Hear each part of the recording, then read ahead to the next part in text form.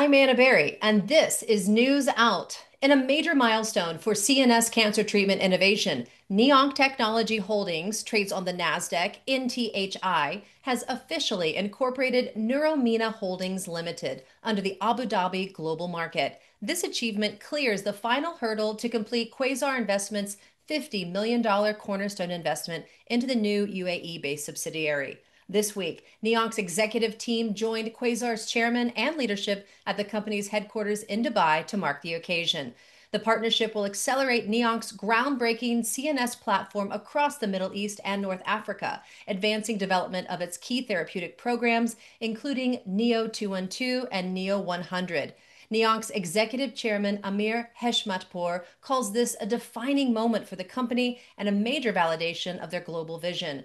Quasar CEO Walid Ali says this is just the beginning of transforming brain cancer treatment in the region.